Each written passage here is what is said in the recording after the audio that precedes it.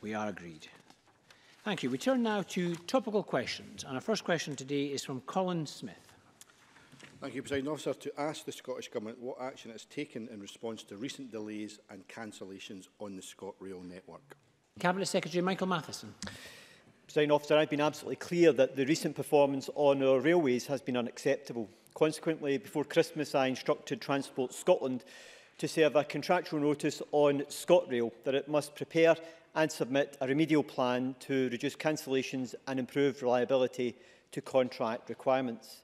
I expect ScotRail to set out in the remedial plan how they plan to address these performance issues to ensure they can be realised and the full benefits of the Scottish Government's record investment into a rail network is then received by those service users. Over the festive period, I've been in regular contact with Eh, senior officials at ScotRail, at eh, ScotRail Alliance, where I've left them in no doubt that appropriate and swift action was required. There has been a marked improvement since and on Monday the 7th of January and on Tuesday the 8th of January 2019, ScotRail had appropriately trained train crew available for all services. I will continue to monitor this daily to ensure ScotRail meet their training programme to remove train crew cancellations over the coming weeks. However, more than 50% of delays to ScotRail trains last year were caused by Network Rail. So fixing ScotRail's train crew problem will not be enough. It's essential that Network Rail in Scotland should be fully aligned with the Scottish Government's priorities and fully accountable to this Parliament. Only then will it be possible for Scotland's rail system to be managed properly as one system. Indeed, members will be aware that in December 2018, the Office of the Road and Rail found that Network Rail had weaknesses in its planning and capability to recover services following incidents. The ORR has issued a provisional order against Network Rail, which requires it to take urgent action to address these findings.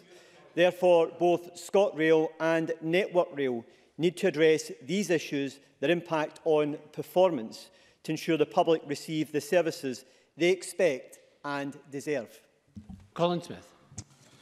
President officer, months ago in September, ScotRail's performance plummeted to a level which breached their franchise. Instead of taking decisive action yeah. to demand improvements, the Cabinet Secretary issued a waiver to ScotRail, giving them a licence to continue to fail. And not surprisingly, performance got one worse. Last month, I challenged the Cabinet Secretary to stop bailing out ScotRail and start standing up for passengers by at least issuing a remedial notice against ScotRail and demanding a clear remedial plan. Again, the Cabinet Secretary refused to take action and even told Parliament on the 18th of December, December and I quote, there are early signs of improvement. In truth, performance was continuing to get worse. Does the Cabinet Secretary not accept that he should have taken action long before now? And will he start to take responsibility for his inaction and apologise to Scotland's hard-pressed rail passengers for the miserable service they are still receiving? Cabinet Secretary. saying, officer, I very much regret the poor service that customers have experienced from, uh, uh, from ScotRail over uh, recent months. And there's uh, no doubt that further action is required in order to make sure that the uh, contract which the Bellio have uh, for the ScotRail lines is one which they're meeting on a contractual basis. Uh, the member uh, will be aware that uh, a remedial plan is something which requires a breach of the contractual Uh, nature of the franchise agreement. And that was identified on the 21st of December.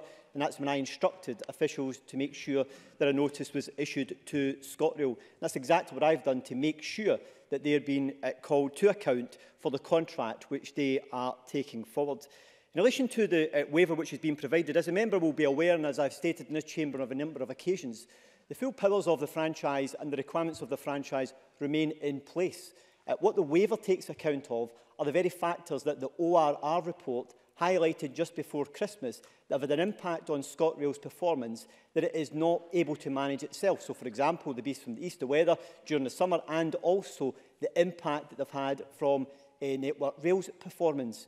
All of those factors have an impact on their ability to meet these requirements, and the ORR recognised in that report in December that that's had a significant impact on performance overall, and that's why they were given the 1% waiver to take account of that. Well, what I can assure the member of is that there's absolutely no lack, no lack of determination on my part to make sure that ScotRail keep up to the standards that we expect of them as are set out within the contract. And what I'm determined to do is to make sure that we address that and that's the remedial plan which will assist us in making sure we deal with that. But what I also think is important is that we're honest with the travelling public is that you can address issues in ScotRail, but you also need to address the other half of our rail network, and that's the infrastructure element when it comes to our railway infrastructure. And in some months, it's been up to 70% of delays are being caused by network rail. That is unacceptable and why action also needs to be taken to improve their performance so we can get performance improvements right across the board within the rail, work, rail network in Scotland. Colin Smith.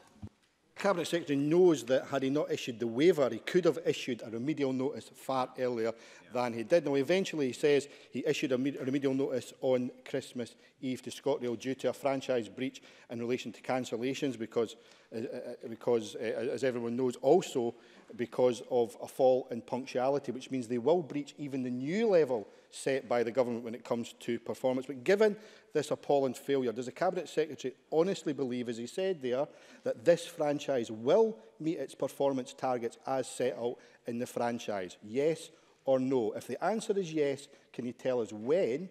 But if the answer is no, when will he finally bring an end to this failing franchise. Cabinet Secretary. Well, President Officer, that's exactly what we've got set out within the franchise, is the commitments that we expect the franchisee to meet, and we'll continue to press them in order to do that. It's clearly not been meeting it in recent times, and there's a need for them to take action in order to make sure that it's going in the right direction, and that's exactly what we will continue to remain focused on doing. And what I'm committed to doing is making sure that ScotRail are held to account for their response to dealing with the standards that they set and have to meet within the contract, within the franchise.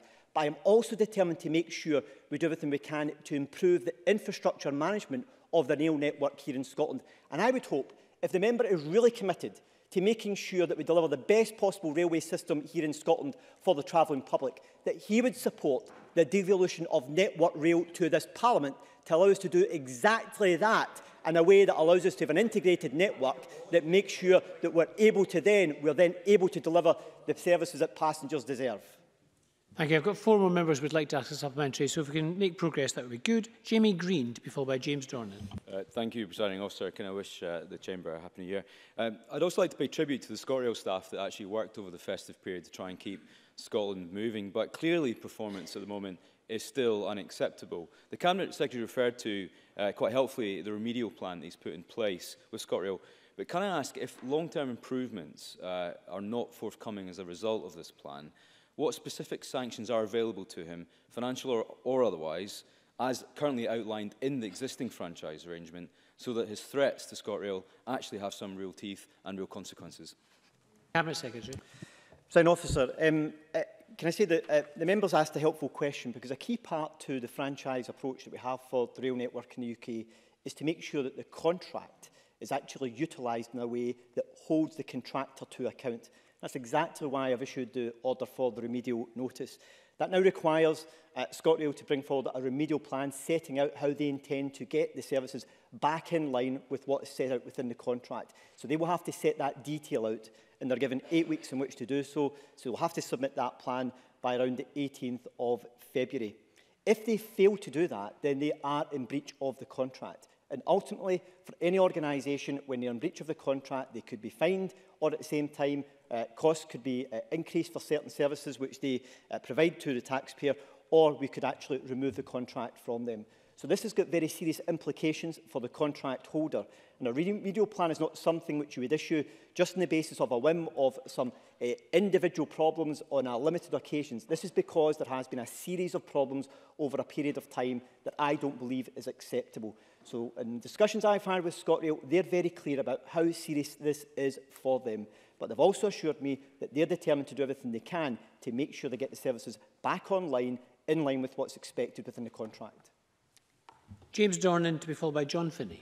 Thank you, President Officer. Uh, Cabinet Secretary, you've You've mentioned some of the improvements that ScotRail have made, but could you give us a bit more detail about that, uh, made over the festive period, the impact they've had, but maybe more importantly, what more ScotRail is doing to help those passengers who have been inconvenienced?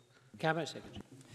Well, President Officer, one of the uh, main challenges which we've had in recent times has been the ability for ScotRail to be able to train their staff for the new Hitachi trains, for the new uh, routes which have been introduced as part of a timetable change in uh, December the 9th and also the uh, late arrival of the refurbished uh, uh, high-speed uh, trains all of which have their impact on their ability to train staff. Uh, as it stands, uh, just under 900 members of staff need to be trained. Uh, they're now at a point where uh, around 20% uh, or so of those staff are still to be trained. As we go forward, uh, ScotRail have given me an assurance that uh, the number of cancellations which will come about as a result of a shortage of trained crew uh, will continue to decline uh, and they will continue to try and work that number uh, down as we go forward in the coming weeks. And what they will continue to do is be focused on training their staff in order to make sure that the level of competence that allows us to make sure we minimise the number of cancellations that occur as a result of a lack of avail available crew. John Finney to be followed by Mike Rumbles. Thank you, President Officer. Uh, Cabinet Secretary, we seem to be here repeatedly. We're hearing all the same stuff. I've lost count of the number of plans, improvement plans. This one's now a, a remedial plan. Well, uh, plans are of no interest to uh, constituents in the Far North Line who finish a hard day's work to find that the train that they hope to take them home has been cancelled. What is this level of mismanagement that's required of a Abellio before you'll take control of this situation? Cabinet Secretary. Abstain uh, Officer, the, uh, The way in which the provisions are set out within the franchise agreement uh, give us the power to be able to direct ScotRail in order to bring forward plans in order to address issues where they have failed in order to deliver proper services. Uh, what we are doing is holding them to account for that particular contract. Uh, the remedial plan is one of the most serious actions which we can take in requiring them to make sure that they start to address these issues in an effective, systematic way. They're very clear about how serious this is for them as a franchise holder. And what we now need to do is see the detail of their plan, uh, which we'll receive in February in order to consider that. There will then be a period of time which allows them to take that forward in order to make sure it's delivering the agreement, the agreed uh, improvements that they've set out within a remedial plan. Once that has been taken forward, we as a government will then be in a position to assess their performance and whether they're actually delivering on the remedial plan which they've submitted to us. Should they fail to do that uh, and meet those necessary standards, as I've just said to uh, Jamie Green, uh, that could ultimately result in them losing the franchise. Uh, and they are aware of the potential implications that it has for them if they fail to deliver on what is set out within the remedial plan. And Mike Rumbles. Presiding officer, I'd like to know in what way does Michael Matheson's remedial plan of January 2019 differ from Humza Yousaf's performance improvement plan of January 2017? Cabinet Secretary. Sir, uh, the ultimate sanction, if they fail to meet the requirements set out within the remedial plan and to deliver on it, is that they could lose a franchise. Thank you. Move on to question two, Alec Neil. Presiding officer, can I ask the Scottish Government what action it will take regarding the cessation of trading and managing medical waste contracts by Healthcare Environmental Services Limited, including supporting the 150 workers who have been made redundant? Minister Jamie Hepburn. The Scottish Government is concerned about the situation at Healthcare Environmental Services Limited and is taking a number of steps to respond. The company advised the NHS boards in Scotland on the 7th of December that it was unable to continue to provide clinical waste collection services. NHS Scotland then implemented interim contingency arrangements to ensure clinical waste is appropriately stored, collected and disposed in line with industry regulations. There has been no impact on patient services. SEPA is monitoring the situation on a daily basis and is continuing to seek regulatory compliance. We'll work with SEPA to ensure that the sites are cleared safely and all waste disposed of appropriately should this become necessary. There is at present no significant environmental risk and no risk to the well-being of local communities. There is obvious and clear concern for the workforce uh, and the impact on them. Uh, the company took up uh, the offer of pay support on the 27th of December 2018 when it made its employees redundant. Pace partners attended a support event held in Shots on the 3rd and 4th of January and provided support to 125 individuals in attendance. We've also been in contact with representatives of the Redundancy Payment Service who are awaiting information from the company regarding employee details in order to progress redundancy payments. We're monitoring the situation and provide further support and take any further action as may be required. Alex Neil. Can I thank the Minister for his reply and also the assistance he, he and his department provided over the festive period in relation to PACE. Uh, can I say, as well as finding the HES workers jobs, the other top priority is for them to be paid the wages and other payments they're due. Uh, The company's bank, HSBC, has refused to release any funds since the 5th of December, which is why the workers didn't get paid. Will the Minister now urgently contact the bank and demand that the necessary funds be released urgently to pay the workers all the wages they are due? And will he look at whether the Scottish Government, meantime, can provide urgent cash help to the workers who are owed their wages? And finally, on this point, can he urgently contact again the Insolvency Service, who this morning have advised workers that they are not entitled to redundancy payments due to the business not currently being declared insolvent? Minister. In relation to the, the first point, I'm certainly aware that the company has uh, set out the uh, difficulties that uh, it has said it has had in accessing finance from uh, its bank through uh, the usual banking services. I will undertake to uh, uh, contact the bank uh, in coordination with the company to see if we can move that matter further along. Uh, clearly, if we can do so, my primary expectation would that would then result in payment to uh, the workforce. That would be the basis on which I would seek uh, to uh, intervene. Uh, in relation to the issue uh, about the contact from the Insolvency Service, uh, I think I would need to get more details of that. Certainly, uh, there is, are difficulties where a company aren't uh, in the process of administration have declared themselves insolvent in terms of uh, eh, work, workers being able to secure redundancy payments through that process. The information we've had is that there is another process underway. If uh, they've been advised otherwise, then I'll need to get the information and uh, look at that. And if I can get that from Mr Neil, of course, I'll commit to doing so. Neil. Uh, can I say I'll supply the Minister with the necessary information this afternoon, having just received it within the last half hour myself.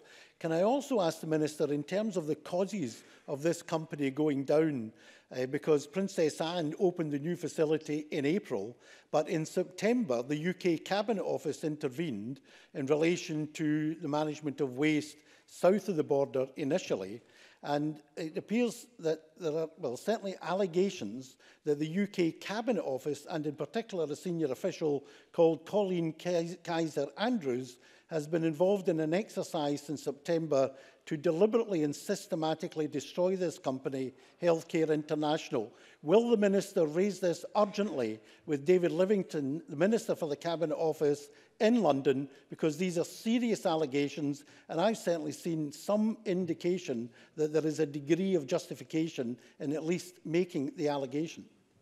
Before the Cabinet, before the Minister replies, I hope Mr Neil thinks seriously before naming officials who cannot answer back in this Parliament in such a way in, in taking advantage of parliamentary privilege. Minister. Uh, well, I, again, I, I would uh, be cautious about commenting on allegations, the full detail of which I haven't uh, seen. But again, if uh, I can be provided with information, we can uh, have a look at it. And if it's felt necessary to contact the Cabinet Office in light of the information received, then of course, uh, again, I would uh, uh commit to looking to do so. Thank you. Richard Leonard. Uh, what assurances can the Minister personally give to the communities in and around Shots that the waste currently stockpiled on the site in Shots is being properly stored according to the highest health and safety and public health regulatory standards? Minister. Uh, I can uh, give uh, that uh, assurance because what we have done uh, through uh, NSS, uh, Scotland National Health Service, uh, Eh, eh, National Services Scotland have put in interim uh, arrangements with uh, a range of eh, companies, three licensed waste carriers covering the whole of Scotland for priority sites, that is large hospitals, and the other contracts in place with specialist companies to provide community collections from smaller sites. So that will deal with uh, waste on an ongoing basis. I've already set out the steps that SEPA are taking. There is no indication that there is any uh, substantial risk to communities now, but that's why SEPA are involved. They're there on a daily basis and we continue to be informed by them. Question number three, Angela Constance. Thank you, President Officer. To ask the Scottish Government how it will support the CIAM Europe Limited employees who were made redundant without notice and were not paid before Christmas. Minister Jamie Hepburn. Uh, the Scottish Government and its agencies have been working to support the former CIAM employees in Livingston uh, with PACE partnership support available from the 24th of December, two days after the company appointed an administrator. Uh, that support will continue uh, with, for example, a jobs fair scheduled to take place on the 17th of January in Bathgate. Our shared goal is to help those made redundant get back into work as quickly as possible. And earlier today, I spoke with the administrators, KPMG, about how we can support those who have been made redundant, secure the redundancy payments they will be entitled to. Angela Constance.